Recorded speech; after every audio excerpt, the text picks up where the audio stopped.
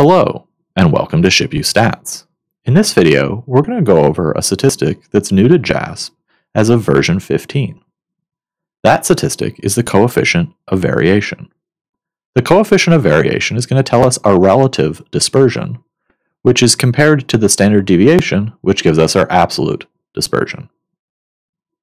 To calculate our coefficient of variation, we're going to go ahead and click on Descriptive Statistics. And from here, we can go ahead and move over the variables that we're interested in getting a coefficient of variation for. Before we actually calculate that statistic, let's go over here and look at our descriptive statistics for these two variables. You'll notice that both of these variables have standard deviations, which are relatively different from each other, and they also have means that are relatively different from each other.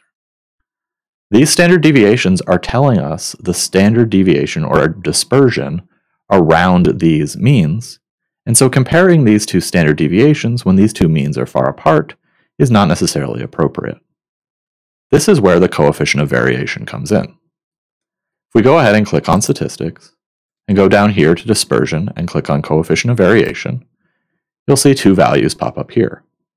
You'll notice that these two values are relatively close to each other. They are different, but this is a much better way of comparing the dispersion here because we don't have to worry about these means being so far apart and the relative variation around those means. Here we can see that relatively, the variation of these two variables is quite similar. The coefficient of variation is calculated by taking the standard deviation and dividing it by the mean. Alright, thanks for watching this short video on the coefficient of variation in JASP.